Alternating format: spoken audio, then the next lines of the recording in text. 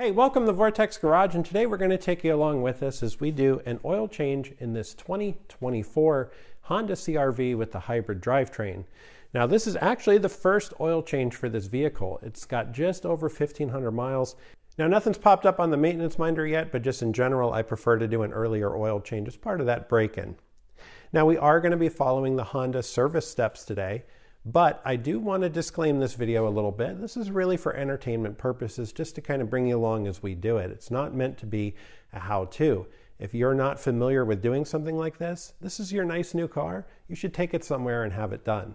If anything, for those people in that situation, this video can help tell you what a quality mechanic would do versus a quick lube shop, some of the extra steps that are by the book for Honda, and more reason, again, to take it to your dealer and let them maintain your vehicle. Now that's important because today we're probably going to cover some things and skip over a lot of other things. Like for instance, we're not going to cover how to lift the vehicle safely. Obviously, we're using our two-post lift, but what if you're using ramps? What if you're using jacks and jack stands? There's all kinds of safety stuff that you have to take in mind, not to mention all the things that you have to be careful with when you're changing the oil on a new vehicle. So, just to let you know, that's what this video is. Now this 2024 CRV does have the, the hybrid drivetrain. It is the 2-liter engine, not the 1.5 turbo that we featured in our 2018 CRV. So although it looks like the service steps are somewhat similar, there are a few differences. Number one, being a hybrid drivetrain, you're going to have to get this thing up to temperature to help the oil flow. It's something recommended by Honda and good practice for any oil change. Now you could go for a nice drive and make sure that the engine has run quite a bit and you'll be good. Alternatively, you can enter maintenance mode and go ahead and take care of that. I'll show you, I did a quick video on my phone on how to enter maintenance mode.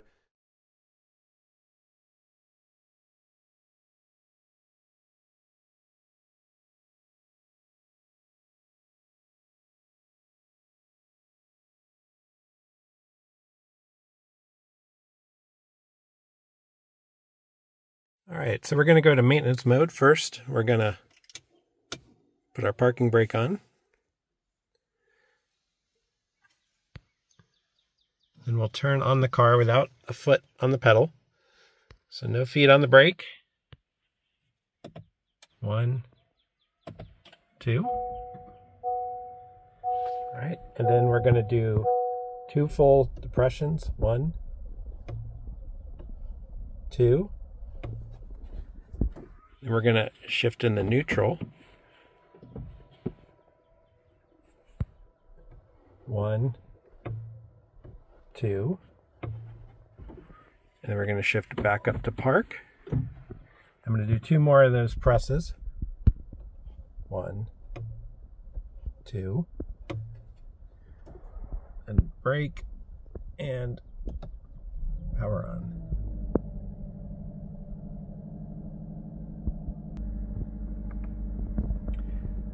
And there we are in maintenance mode.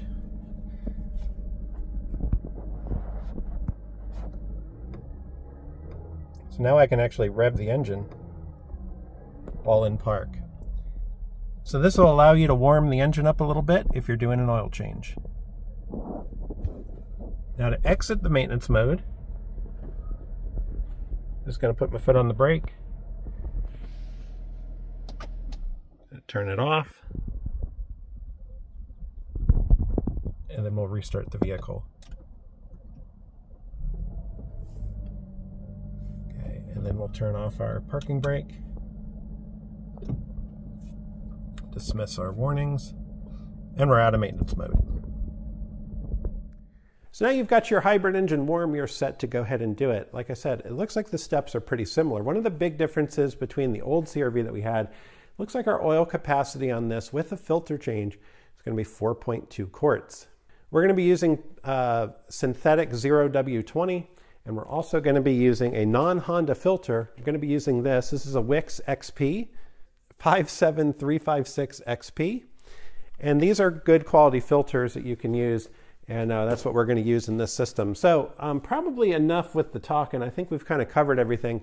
We're going to go ahead and get this thing up and pull the underbody panel off and continue. Of course, first step, I'm going to go ahead and open our oil cap. Okay, so just to make sure our oil flows out a little easier, we are going to go ahead and open up our oil cap with our 0W20 logo on it.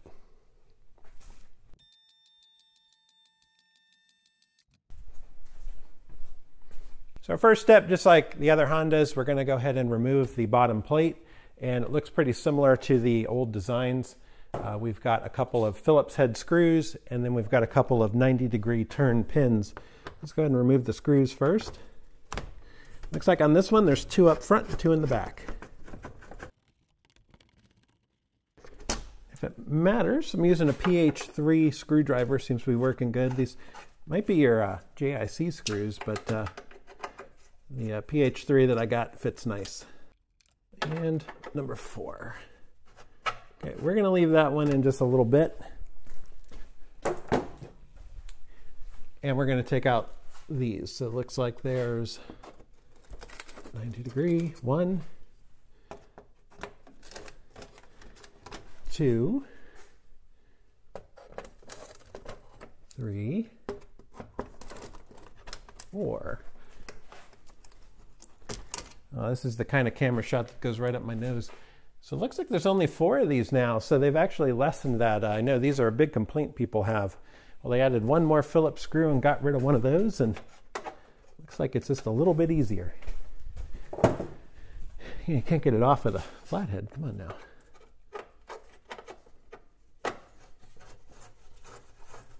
Okay, then I like to use my head to lift it up. and uh, then just we'll slide it down and out. And then all the rocks from our gravel road will come out. So we got four Phillips head and four 90 degree turn uh, heads. All right, looks like here's our oil drain plug and our filter. Pretty simple. Okay, we're gonna go ahead and move our drain pan over.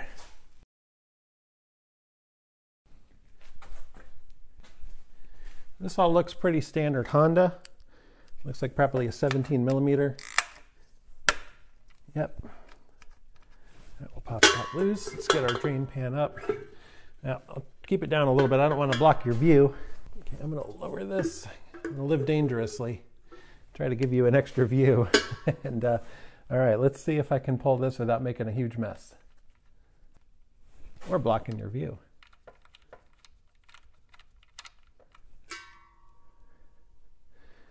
Perfect. That was our crush washer. By the way, if you're wondering what that was,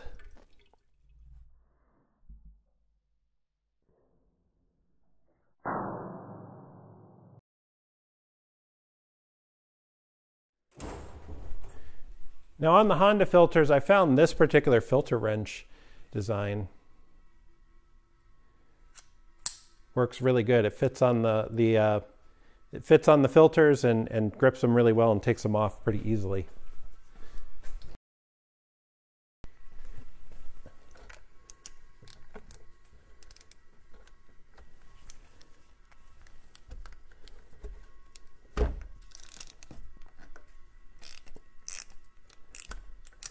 Yep, nice and simple.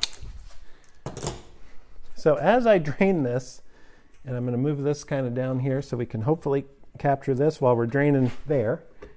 Let's find out. Oh,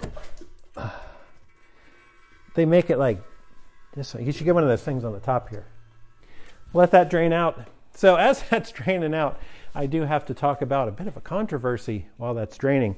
And uh, well, essentially, if, if you're bored and you're looking for something to do, uh, some recommendations on things that you could really fill your time up with would be going to a uh, forum, uh, Facebook, or anywhere and question a religion or ask about a religion. Another thing you could do is join an HOA. That would be a, a good way to kill some time. Or you could enter an online debate about whether or not you should fill or not fill your oil filter on an oil change.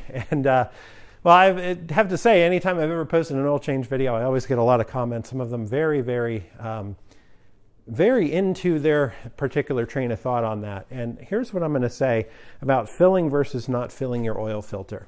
Here are my thoughts on all that. If you're doing your oil changes and you're doing them hopefully even earlier than the manufacturer recommends, then good for you. You are doing more for your engine than most people. If you fill your oil filter, congrats. If you don't fill your oil filter, but you're still doing the maintenance, congrats. And there's quite a simple reason for that. So, number one, the Honda Service Manual the actual official books that the Honda dealers use do not reference filling the oil filter when you put them on. They simply don't do it. There are also some manufacturers, CAT being one of the major ones that people reference, who actually say don't fill the filter before you put it on because they're worried that most people are going to fill the filter through the center hole and that there could be contaminants that come in from the bottle of oil, perhaps even some foil from the little end there. So they would just prefer that you don't do that and allow the filter to catch anything that might come through the oil container. Other manufacturers recommend it. I think Cummins and, and the diesel side does. But with auto manufacturers, it's kind of hit or miss. Some filters are mounted straight up and down, so you can do it easily. Some of them, like Subarus and some Toyotas, they mount down from the top. You simply can't fill them, even if you wanted to. So I really go back to the fact that you're not going to destroy your engine by not filling it. The vehicles nowadays have uh, pressure bypass valves. Plus, you've just drained the oil out of the engine. There is still a film of oil on everything, just like you had turned it off and it was sitting. This isn't a freshly built motor. It wasn't sitting for six months. And the final thing is, is that the little filter on these cars and the power of the oil pumps, they fill up so fast, it's not funny. It's not like a gigantic diesel filter. So I have for many years never bothered to fill filters, especially when they're small. Sometimes with large ones or a fresh engine, definitely. Um, even then, I'll do a, a prime the engine kind of deal. So today, you're not going to see me fill the filter, and that's why. And again, you choose how you like to do it. But at the end of the day, I always recommend follow the service procedures. If the manufacturer recommends doing something, do what the manufacturer recommends. It's the safest way to make sure you do it right. So consult with Honda, do what Honda says. All right, let's go ahead and pull this down the rest of the way now that it's drained some.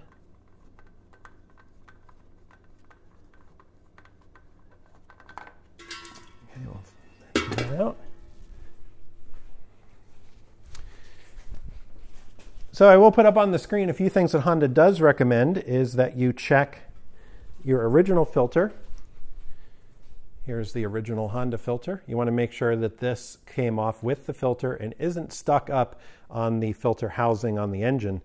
On the new one, we're going to want to check this and add a little bit of oil. We're going to want to check the threads. So we'll show you that in a second.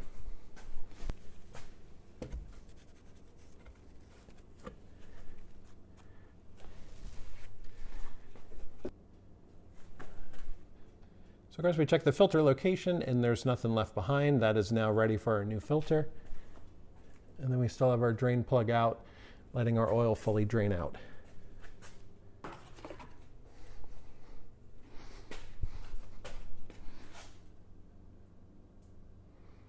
I like to cheat and just get some of the oil that's coming out nice, fresh, and clean just to lubricate the O-ring. So here's what we're doing on our Wix filter, just to show you. We are coming in, going to lubricate the O-ring with a little bit of engine oil, and we're going to inspect the threads, make sure that the filter's in good shape. And of course, we did write on the back of it. There you go. We put our date. We're in the US and we do things day, month, day, and then year. So a little bit out of order, but it is March 16th, 2024. Okay, we're going to go ahead and install our filter.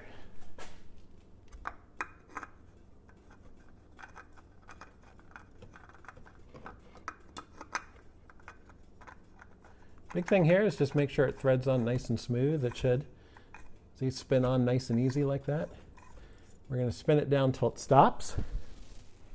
Now here's a real interesting one for you. Honda actually specifies in their service manual a tightening specification for the oil filter. They specify a three-quarter turn from clockwise from or clockwise from where it seats, or nine foot-pounds, which is also equivalent to I think Yep, 12 newton meters or 9 foot pounds. Since we have this here, we can do our three quarter turn. So there's a half turn. Oh, that's a quarter turn. There's a half turn.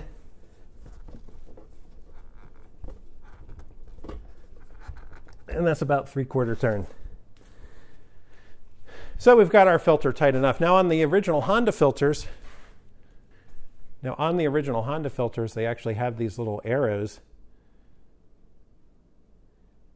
And these arrows, you can actually follow them. See, there's four, three, two, and one. And there are guides in the service manual for how to tighten these specifically based on watching those arrows. But pretty standard oil filter. We've got ours installed tight enough. with a lubed gasket. Next things you're going to want is your new crush gasket. Is your new Honda crush gasket. I've always heard people kind of question too, like how should you put the crush gasket onto here? As you can look at these, there's a flatter face and a rounder face. Well, the material is single material, so as far as I'm concerned, they're going to crush either way. But I typically put the flat face against the drain and then the rounded face against the oil pan, in case you were wondering. So we've got our brand new crush gasket. We have our new drain plug. We're going to go ahead and thread that on a little bit. We're going to clean up. Okay, we're going to tighten this by hand. Again, if that's not threading in by hand, we got a problem. It's a brand new vehicle. It should thread in by hand, and it certainly does. All right, then we're going to take our trusty torque wrench. We're going to set this to 30 pound, 30 foot pounds. And then we're going to come in, tighten. Now, as you're doing this, as we've noted before, you will feel the crush gasket give before you get to your torque value. That's it. That's our 30 pound feet. If you're a real stickler, you can mark this.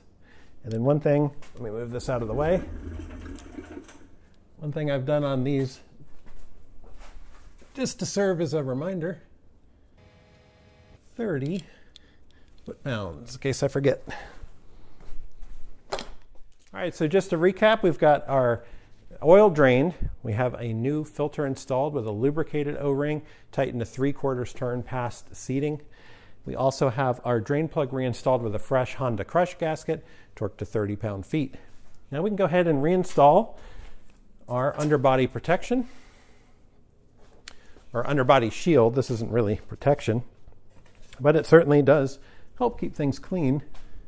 All right, so to install this, we're going to start here here. Then we'll line up the bolt hole. Okay, I should probably zoom out for you. Apologize for that, but I think you understand what we're doing. Okay, so I'm going to go ahead and get these started.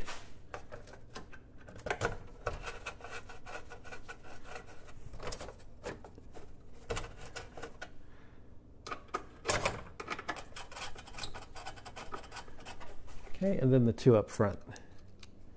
Again, taking our time to align it.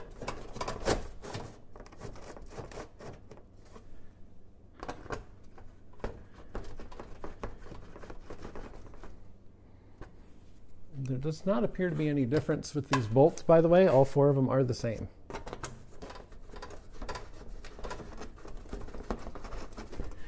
Before we tighten those down,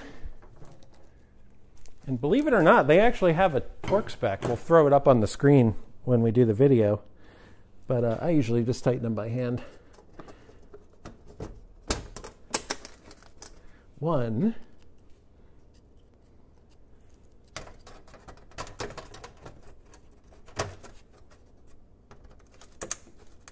Two. It's nice that there's only four of these. This is going to go faster.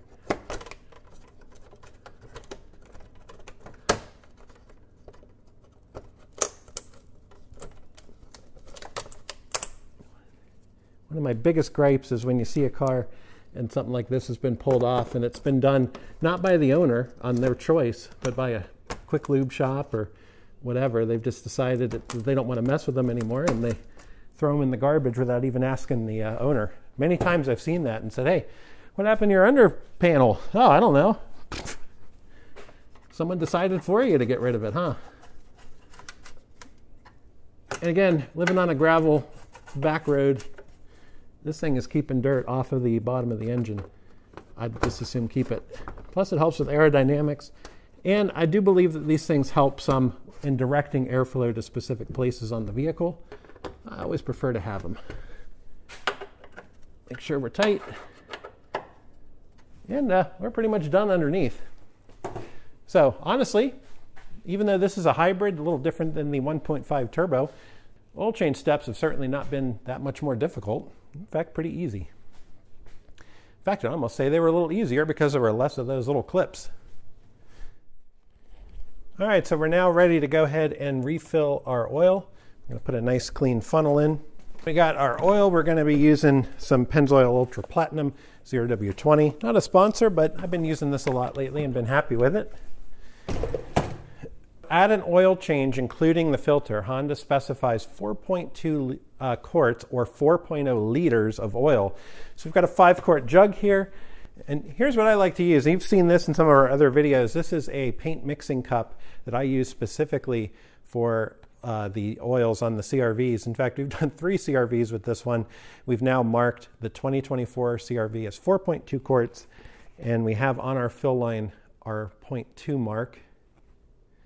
There it is. It's about about 6.4 ounces. So 0.2 US quarts is 6.4 ounces. So we're going to do 4 quarts plus 6.4 ounces. And to do that, what I like to do is take this, open it up, keep the lid on it to keep it clean. Give our oil a little shake. Make sure this is our 0W20, it is. We're going to do four full fills to our 32 ounce for our quart. And you just got to not lose count. All right, there's one.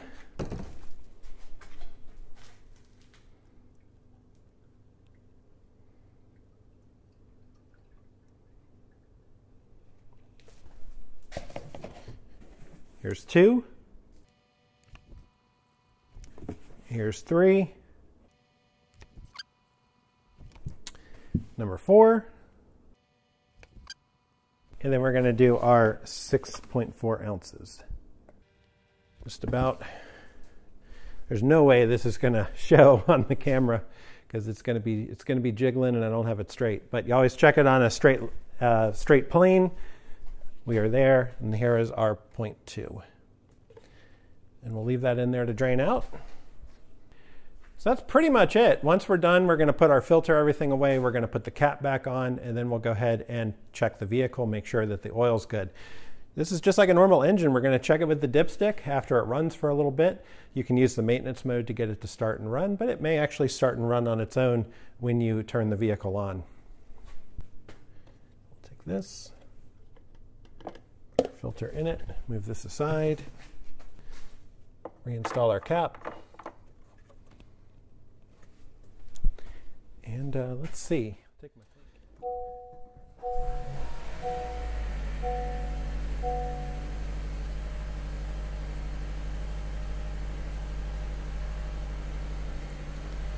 All right, then we'll just reset our maintenance minder, which will probably be a separate video, or I'll do it on the phone here. I'll have to figure that one out but I'm sure it's done uh, through our buttons here and our screen, or maybe in this. But we'll uh, reset our oil life.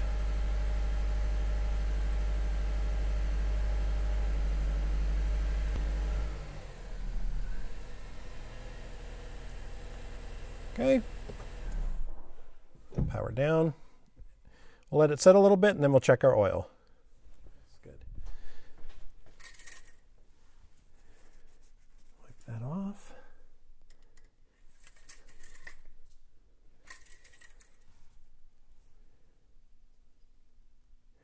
Our oil level's right in the middle. Perfect.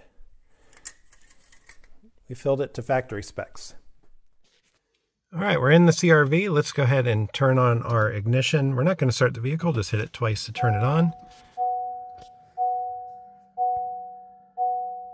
Okay, and then we're going to hit our home button until we make that all go. All right, and then our home button, we're going to want to run our dial. Till we get to maintenance. Click your dial. There's your oil life for A. We're going to hold the button. Looks like for about 10 seconds.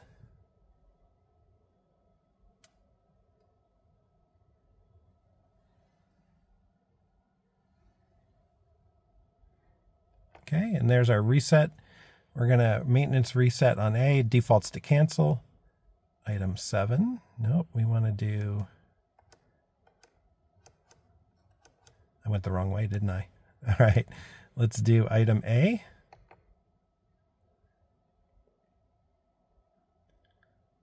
Reset completed. Oil life 100%.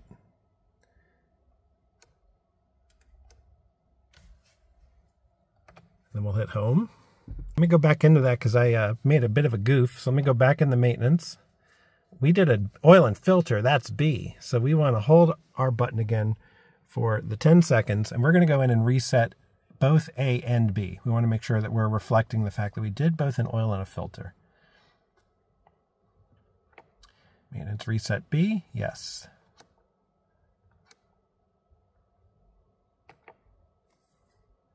There we go. All right, and that takes us back, oil life at 100%. And we can go ahead and scroll back to where we had this. It was on range and fuel. And there we go. All right, so that concludes our video. We've done our oil change on our Honda CRV. There's a few little add-on bits and pieces that we might have skipped, but we'll try to have separate videos for. If you've got a hybrid Honda CRV, these are some of the steps that would be taken if you get an oil change. At any rate, we hope you enjoyed this video, and if you like this kind of stuff, well, check us out. Leave us a like, comment, and subscribe. We've got plenty more here on Vortex Garage.